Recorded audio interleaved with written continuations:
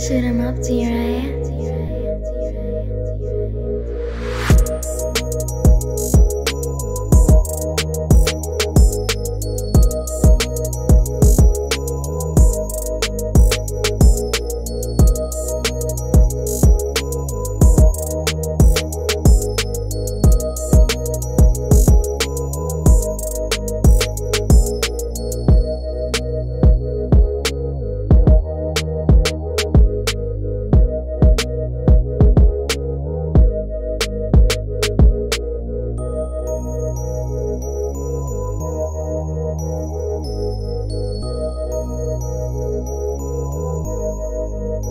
Thank you.